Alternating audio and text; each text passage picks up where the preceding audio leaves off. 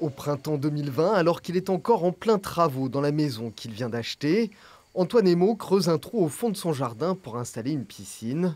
Mais le sol lui réserve une surprise macabre. Regardez là. C'est quoi ça? Ça c'est un crâne là. Ici là. Un propriétaire qui n'est pas au bout de ses surprises. On continue à creuser, des ossements, des ossements, des ossements. Au final on dit on arrête de creuser.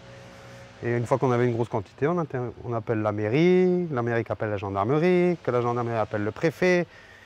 Et résultat des courses, ben, il ne s'est pas passé grand-chose depuis. Et un an et demi après, ben, je suis dans le trou avec mes os et j'attends.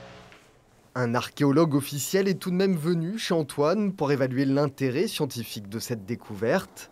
Impossible de dire combien de corps sont enfouis dans ce qui est sans doute l'ancien cimetière paroissial du village. Mais le service régional de l'archéologie n'estime pas nécessaire pour autant de fouiller l'endroit. L'archéologie n'est pas faite pour nettoyer le sous-sol. L'archéologie, elle est là pour, euh, connaître le passé.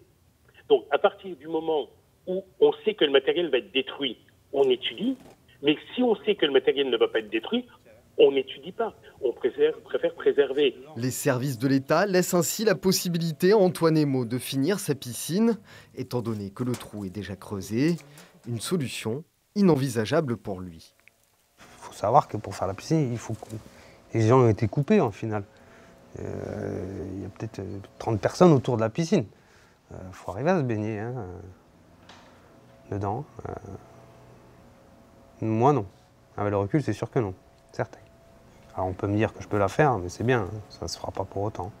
Une situation en forme d'impasse, symbolisée par les palissades que le père de famille a installées pour que ses enfants ne soient pas confrontés à la vue des ossements.